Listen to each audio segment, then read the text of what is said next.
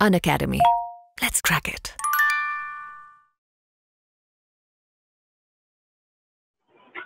Actually काय होतं की एमपीएससी ची एक्झाम आणि युपीएससीची एक्झाम याच्यामध्ये एक साधा सरळ फरक आहे की एमपीएससी म्हणजे एक ट्रेनिंग ऑफ युअर ब्रेन म्हणजे तुम्हाला चार पैकी एक उत्तर शोधायचे so you have to train your brain in a such way that you have to find a right right answer among the four options तर इथं आपल्याला आपल्या ब्रेनला ट्रेन करायचं युपीएससी मात्र वेगळं आहे.